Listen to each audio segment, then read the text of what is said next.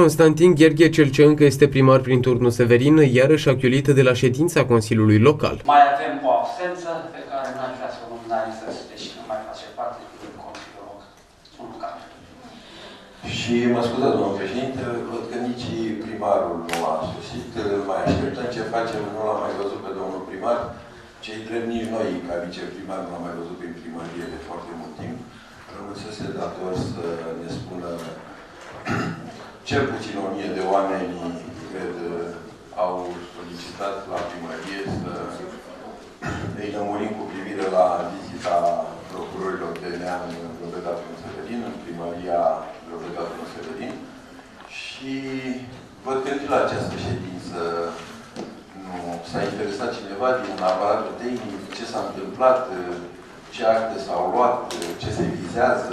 Consilierul local Romulus Vâlcu a ținut să precizeze că executivul primăriei Severinene, coordonat de către fostul milițian Gherghe, nu funcționează corect, având în vedere problema termoficării în drobeta turnul Severin, care este o problemă strigentă, și nimeni din primăria condusă de Gherghe nu dorește să răspundă concret la întrebările adresate de consilierii locali în ședințele publice.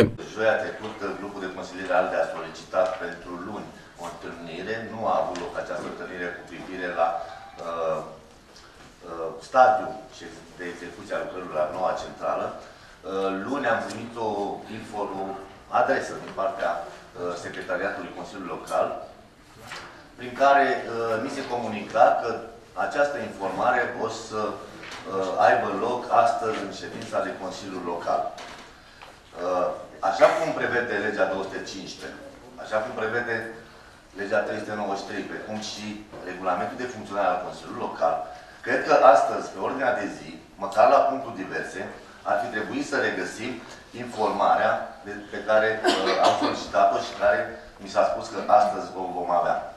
Am primit însă, și aș vrea să întreb tot colegii dacă au asemenea informare, am primit uh, câteva hârtii cu câteva fotografii aici, care sună ceva de genul. Informare privind solicitarea grupului de consilier ALDE, numărul 108 din 1404-2016,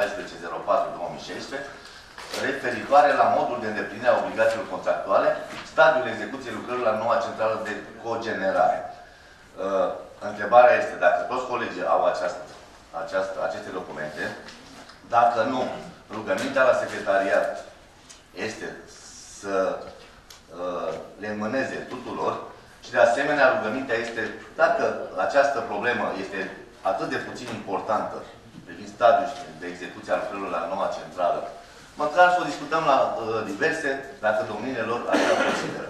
Pesediștii în frunte cu Vasile s-au făcut de râs și de data aceasta, arătând probabil necunoașterea legii administrației publice locale, cerând mandate de reprezentare pentru scoaterea de pe ordinea de zi a unor inițiative care în fapt erau ale fostului milițian Gherghe, chiulăul de la primăria Turnul Severin. Probabil că acestea sunt toate posibile având în vedere că Vasile Screciu așteaptă susținere din partea lui Gherghe, fostul milițian comunist, în alegerile locale de anul acesta. Dumneavoastră vorbiți numele primarului, că din câte știu eu, scoaterea de pe ordinea de zi se face de către inițiator. Domnul, doamna, Va- va da doamna, vreo delegație aveți, în acest aveți, sens?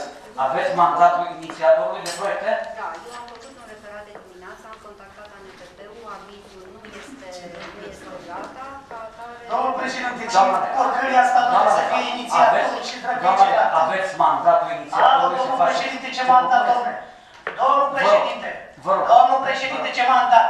Domnul, Unde dați, domnul, domnul arătați-mi consilier, mie legea. domnul Nici consilier, domnul consilier, domnul Bublea.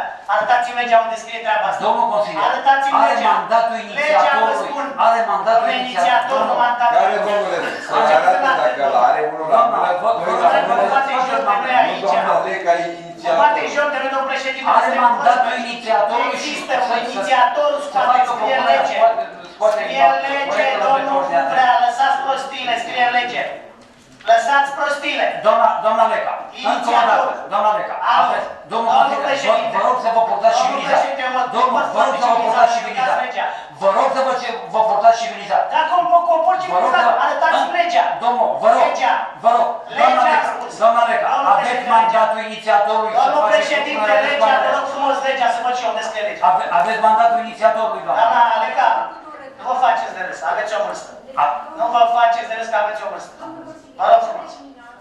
Deci, domnul președinte, scrie în lege inițiator, nu cu mandat de la inițiator. Dacă, nu mai bate joc de dacă din, din anumite motive inițiatorul nu poate să Nu nu poate să există, vină. nu există așa ceva paragraful ăsta în lege. Nu. Nu există paragraful ăsta în lege. Are. Doamna Leca, aveți mandatul inițiatorului. De domnul Fură, care este membru al Partidului Social Democrat și își bate joc de toți severii. Eu i-am adus la cunoștință domnului primar de dimineață că nu a sosit avizul. Unde i-ați adus doamna la cunoștință? Păi nu vine aici, nu-l chemați să scoate Avem- de pe ordinea de zi. Păi ce face Avem, aici? avem Îi mandat, bate joc de mandatul cetățeni. primarului, avem mandatul primarului de a Nu există așa ceva. Nu există așa ceva. Romulus Vâlcu a sesizat imediat contradicția antagonică în care Consiliul Local Turnul Severin se află, fiind condus de Gherghe și de șefii de servicii, când în mod normal și legal Consiliul Local trebuie să coordoneze activitatea serviciilor și din orice primărie, plus trasarea direcției de conducere asupra primarului, chiar dacă acesta se numește și fostul milițian comunist Gherghe. La vot o propunere fă- făcută de doamna Leca, care nu are dreptul să facă propunere. Eu vă recomand cu tot respectul, în conformitate cu legea, să vă asumați dumneavoastră această propunere. Sunteți președinte de ședință, dar nu supunem la vot o propunere făcută de un șef de serviciu. Am înțeles, domnul. Și vă rog să reformulați. Reformulați, reformulați, vă Supun votului. Având în vedere faptul că proiectele nu au aviz, vă propun scoaterea din ordinea de zi, dar o faceți dumneavoastră ca președinte în conformitate cu legea. Supun votului dumneavoastră scoaterea de pe ordinea de zi a proiectelor respective. Cine este pentru? Pentru ce motive, domnul președinte? Pentru motive invocate. Cu avizele, nu cu doamna Leca, cu avizele. Faptul că Vasile, acum conform viceprimarului Liviu Nicolice, ar aștepta să fie plimbat ca pe urs prin Severin de mână cu fostul milițian Gherghe, face ca ședințele Consiliului Local să fie unele în care, pentru consilierii PSD și subordonații lui Gherghe, acestora din urmă să le fie șefi. Acest primar care nu-și face datoria și care vrea să ia de mână pe unul dintre oamenii de aici să-l plimbe, să-l facă primar, Domnul ca, viceprimar. ca pe urs, ca să-l facă Domnul primar. Și Nu se zilele- poate așa ceva, domnule. Ce vreți să ajungeți, atunci o să vă vedem în deplinătate. Acum vă rog frumos, abțineți-vă dacă, dacă vreți să faceți sensul acestei ședințe.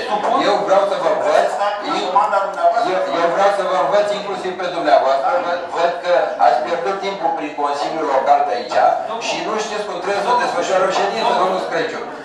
Deci, vă rog frumos, haideți să trecem pe lege și nu mai interveniți aiurea în ședință, domnul Screciu, că vreți să fiți primar al acestui Domnul municipiu. viceprimar. Domnul viceprimar. Vă ia ghete de mână, vă ia ghete de mână să, să vă rog să vă facă primar, Există domnul Screciu. Mandatul Ori sunt amatori, ori au intenții necurate și ne referim aici la consilierii municipal PSD. În dezbaterea privind noua organigrama primăriei severinene, inițiată de Chiulăul Gherghe și susținută cu râvnă de Vasile, organigramă în care se regăsesc de altfel angajați apropiații lui Gherghe și Vasile.